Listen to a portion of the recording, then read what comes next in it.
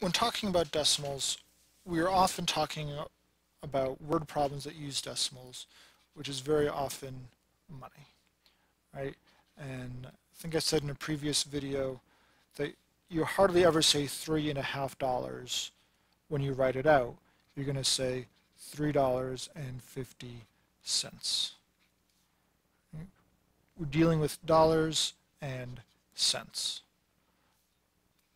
Let's actually write those words because the topic of today's video is on cents. Not the money sense, but the ratio of per cents.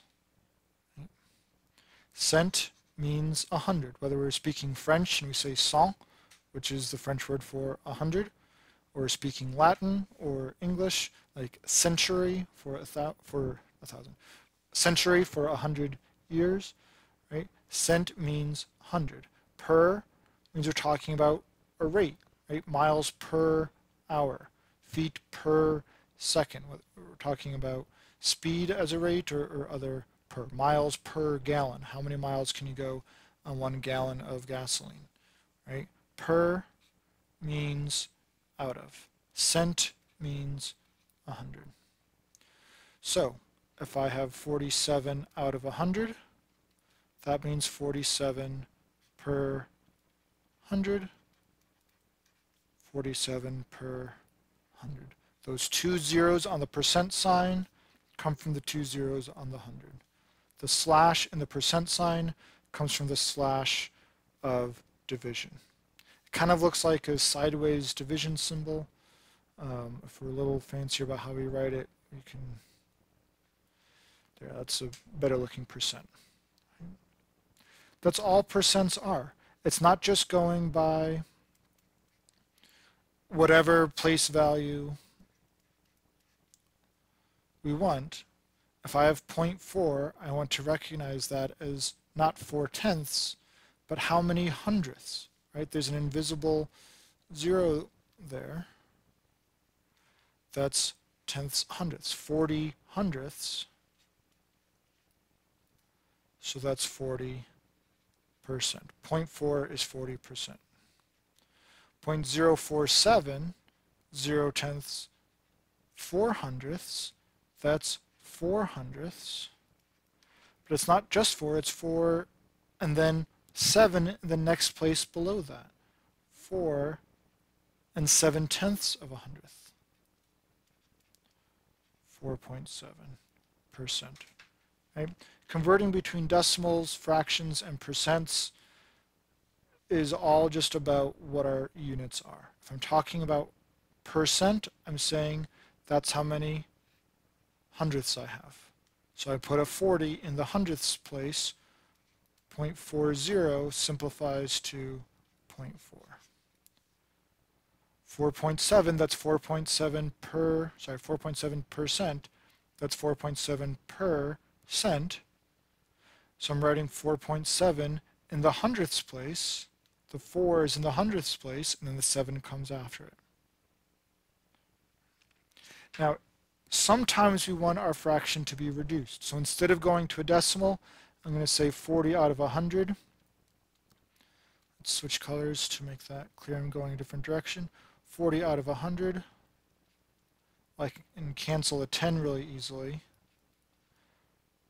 Well, there's 4 tenths. That go, goes along with the decimal 4 tenths. But if I want the reduced fraction, I'm going to cancel the 2 as well. Get 2 fifths. Likewise, 4.7 out of 100. This isn't technically a, a, fraction the way we're used to seeing it, right? We want a whole number divided by a whole number. So 4.7, if I multiply that by 10, I get the whole number 47. So 100 times 10, I get the whole number 1,000. Are there any common factors between 47 and 1,000? No. There we go. That goes along with the decimal.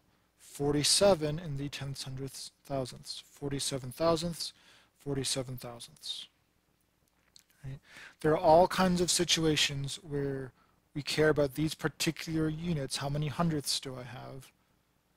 So you have to be comfortable converting between decimals and fractions and percentages. And if I start with a fraction that doesn't obviously turn into a decimal or percent, let's say um, 3 eighths,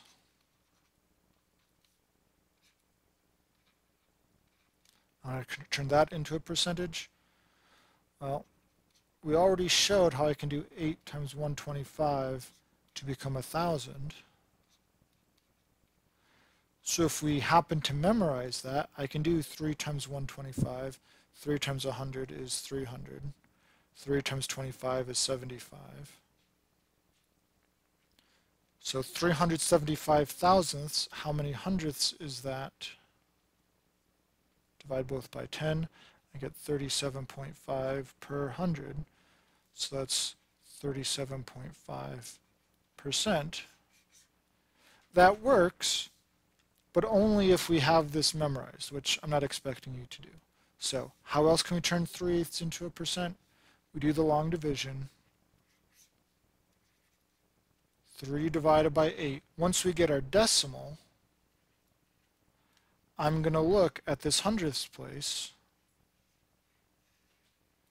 That's my percent if it's a whole number. And then if there's a remainder, we'll deal with that. So let's start. 8 goes into 30 only 3 times. 8 times 3 is 24. 30 minus 24 is 6. Bring down the 0. 8 goes into 67 times. 8 times 7 is 56. And I get a remainder of 4. So I can say 37. I'm thinking about percent. I'm thinking of this as the whole number percent and 4 eighths. I could say uh, 37 and 4 eighths percent. 4 eighths reduces to a half. 37 and a half percent. And that's not wrong. But traditionally, most of the time, we're going to stick with decimals. 8 goes into 45 times. 8 times 5 is 40. So we get 37.375, that's 37 hundredths with an extra 5. 37 with an extra 5 percent. Right? And you probably, I hope, already noticed a half is the same as 0.5. There's our 37.5. So without any context to turn a fraction into a percentage, do the long division to get the decimal. 3 eighths equals 0.375.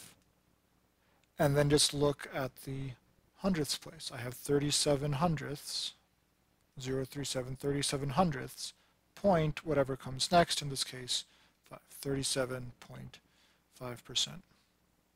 And in some contexts, we'll just stop at the hundredths and use the remainder and get a mixed number for a percentage. That's up to you. All right, so there's turning fractions into percentages. We did turning decimals or nice fractions into percentages and vice versa. Um, in lots of contexts, you'll use percentages all the time. Like if you're in the medical field, you're dealing with um, a 3% solution of saline versus a 0.3% solution of saline. You need to understand the difference of those. Um, but most of the time, within each context, you're going to be dealing with percentages in a particular way. So converting, recognizing the difference between 3 and 0.3, um, that's about all we need right now.